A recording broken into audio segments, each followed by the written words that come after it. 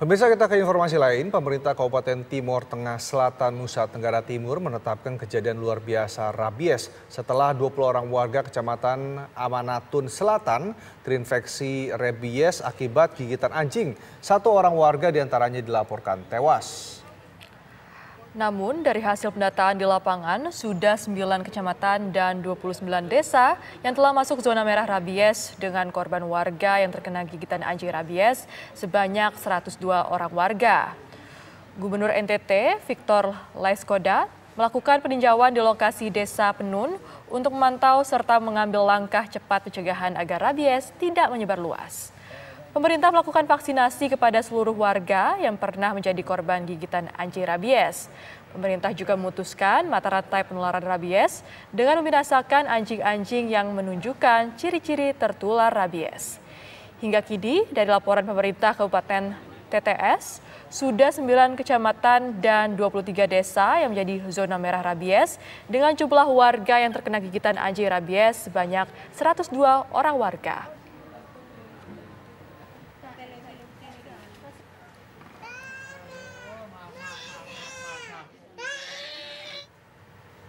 Pemirsa lantas bagaimana penanganan penyakit rabies dan berapa orang yang sudah terjangkit? Kita akan berdialog dengan Dr. Carolina Tahun, Kepala Dinas Kesehatan Kabupaten Timur Tengah Selatan. Selamat pagi Bu Dokter. Selamat pagi Mbak Yasmin. Ya Ibu, mungkin pertama bisa jelaskan dulu kepada pemirsa TV One berapa jumlah warga yang saat ini terinfeksi rabies hingga saat ini? Baik, uh, Mbak Yasmin, uh, sejak data tadi malam pukul 18 WITA untuk uh, penemuan kasus kami sudah 128 orang di mana kejadian lama itu 107 yang baru 21 orang. Baik, dari ratusan orang tersebut Bu yang sudah teridentifikasi ada uh, seperti apa gejala-gejala yang ditunjukkannya Bu? Apakah kondisi juga ada yang parah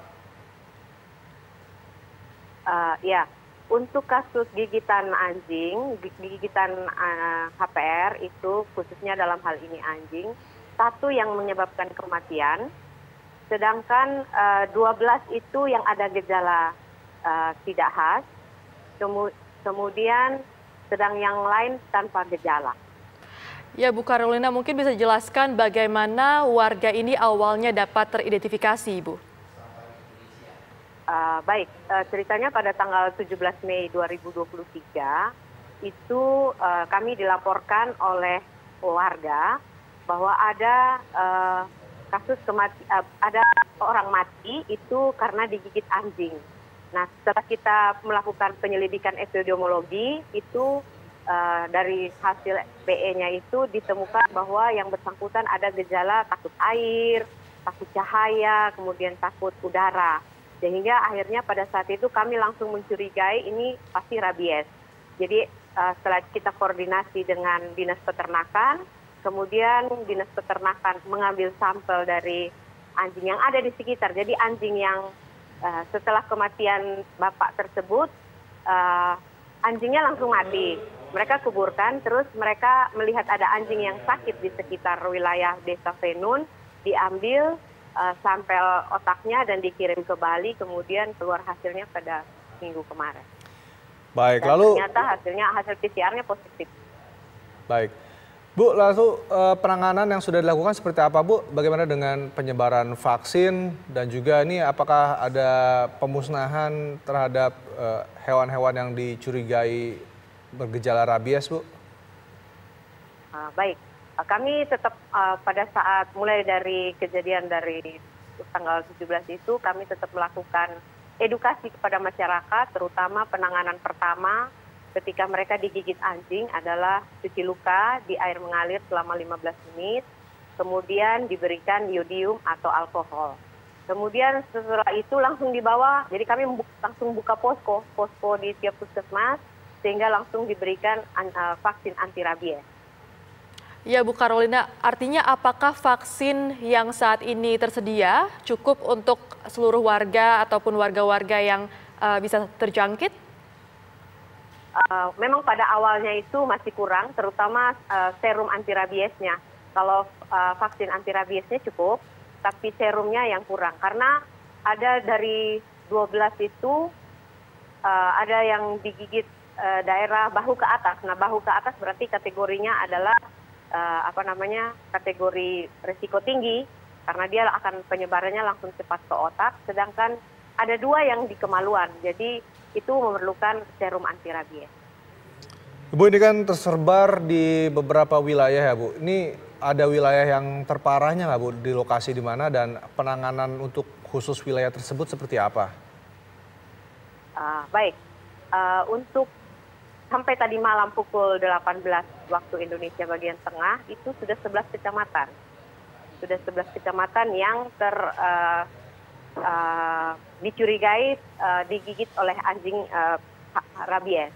Nah, dari 11 kecamatan itu kami sudah buka posko di tiap puskesmas penanganan seperti yang saya lakukan. Jadi sudah melakukan vaksinasi. Dan hari ini juga sudah dilakukan uh, kemarin, kemarin sudah dilakukan uh, vaksinasi serum anti rabies itu yang anak kecil yang kena di wajah dan sudah dilakukan uh, serum injeksi serum di uh, sesuai dengan lokasi lokasi digigit oleh anjing rabies.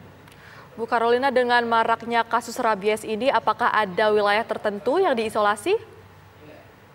Uh, untuk isolasi, uh, isolasi itu isolasi kemobile, uh, hewannya. Jadi uh, dilarang hewan-hewan uh, HPR, hewan uh, penular rabies untuk keluar dari Timur Tengah Selatan dan desa-desa. Cuma uh, jujur agak sulit untuk hewan karena uh, anjing ini selama ini kan dilepas. Jadi di Venun itu yang paling parah kan Amnatun Selatan itu di Venun itu uh, anjingnya belum dikandangkan karena masih ada kasus gigitan baru.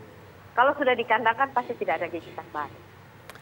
Baik Bu, nah ini terkait dengan hewan ini, jadi penanganannya seperti apa Bu? Apakah ada uh, razia terhadap hewan-hewan milik warga dan juga ada himbauan-himbauan kepada warga Bu?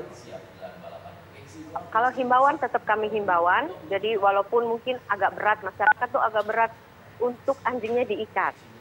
Nah, jadi akhirnya kita kerjasama dengan uh, tim perangkat desa, kemudian dengan tim dari kecamatan, TNI Polri untuk sama-sama me mengedukasi masyarakat karena jujur lebih lebih sulit kalau yang ini, tapi mudah-mudahan kami bisa uh, lebih mengedukasinya lewat uh, tim Promkes dari Timur Tengah Selatan. Baik, terima kasih Ibu Carolina Tahun. Semoga diharapkan bahwa kasus rabies di sana ini dapat uh, segera ditangani Ibu. Terima kasih. Terima kasih. Selamat pagi. Pagi Ibu.